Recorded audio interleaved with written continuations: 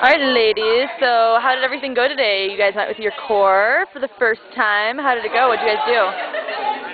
Good. We came up with a name and we had some good bonding. What's your team name? Victorious Vehicles. And so what else do you guys do? Do you guys like hang out and chill or what? a lot about each other. Yeah, we learned a lot. What was the unique thing that you guys learned about somebody?